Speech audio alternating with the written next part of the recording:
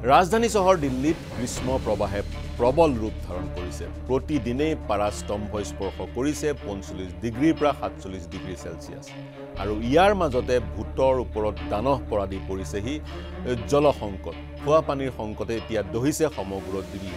এটুপি পানীৰ বাবে দিল্লীবাসীয়ে এতিয়া হাহাকাৰ কৰিবলগীয়াত পৰিছে।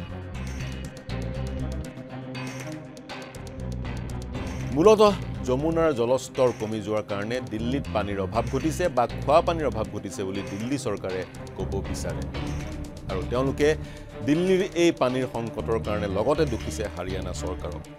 হাৰিয়ানাই যমুনা নদীৰ পানী এৰি নিদিয়াৰ কাৰণে বা যমুনা নদীৰ হাৰিয়ানাৰ অংশত থকা শ্লুইচ গেটকেইখন মুকলি কৰি নিদিয়াৰ কাৰণে দিল্লীত এনেধৰণৰ তীব্ৰ জলসংকটৰ সন্মুখীন হোৱা বুলি দিল্লীৰ চৰকাৰে ক'ব খোজে।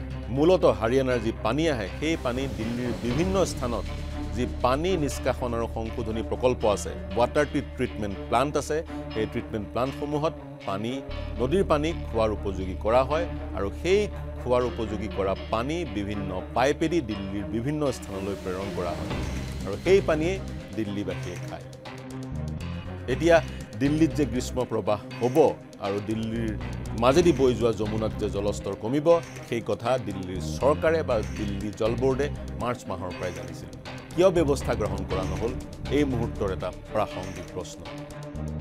আম আদমী পাৰ্টীৰ নেতৃত্বৰ দিল্লী চৰকাৰৰ বিৰুদ্ধে প্ৰতিবাদ সাব্যস্ত কৰি কৰিছে। অৱধাৰিতভাৱে বিজেপিয়ে প্ৰতিবাদ সাব্যস্ত কৰিছে কিন্তু মিত্ৰ দল কংগ্ৰেছেও। টেকেলি ভাঙি ভাঙি এই দুটা দলে প্ৰতিবাদ সাব্যস্ত কৰা পৰিলক্ষিত হৈছে। ইয়াৰ মাজতে গুৱাহাটী সদৃশ দিল্লীতো টেংকাৰ মাফিয়াৰ অতপালি পৰিলক্ষিত হৈছে।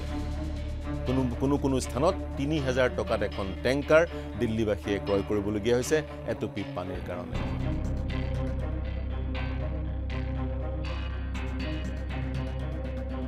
দিল্লীৰ জলসম্পদ মন্ত্ৰী আতিচিয়ে আজিৰ দিনটোত দিল্লী আৰক্ষীক এখন পত্ৰ প্ৰেৰণ কৰিছে।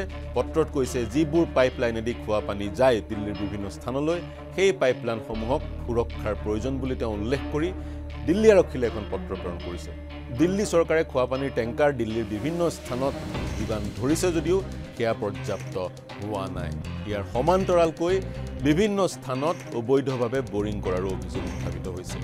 দিল্লী জল বোৰ্ডৰ কণ্ট্ৰল ৰুমত অহৰ্নিশে প্ৰতিটো মুহূৰ্তত দিল্লীবাসী ৰাইজে অভিযোগৰ কাৰণে টেলিফোন কৰা পৰিলক্ষিত হৈছে।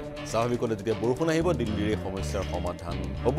কিন্তু বৰষুণ নহালৈকে দিল্লীবাসী এনেকৈ এটুপি পানীৰ কাৰণে হাহাকাৰ কৰিব লাগিব এই মুহূৰ্তৰ এইটো সবাতোকৈ ডাঙৰ প্ৰশ্ন।